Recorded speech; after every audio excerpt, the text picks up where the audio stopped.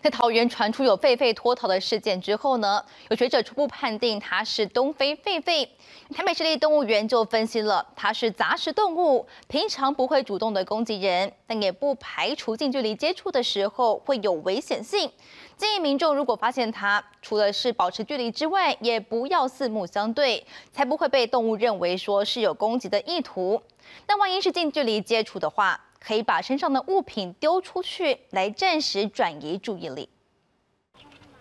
吃着白色高丽菜，台北市立动物园内的狒狒看到摄影镜头，好奇看了一眼才走开。桃园发生脱逃狒狒出没，台北市立动物园表示，从目前看到的影像综合判断，应该属于东非狒狒，平常在路面行走，不过也很会爬树。东非狒狒的习性呢，它们平常平常大部分时间是在地面活动。那就是以四肢在地上活动为主，但是他们遇到一些，譬如说危险，或者是他呃有一些食物的诱因，他有可能会往树上爬。动物园资料显示，东非狒狒身高约六十到七十公分，体重介于十七到二十九公斤。原始栖息地在森林与开放草地，属于杂食性动物，吃虫、吃植物也吃蛋，平均可活二十五到三十岁。平哥大野生动物保育研究所副教授苏秀慧分析，虽然东非狒狒是杂食性，但是吃昆虫比较多，因此不算是会主动攻击人类的动物，但就怕被豢养过，习惯向人类索取食物，所以也不排除会因为想要食物而接近人类。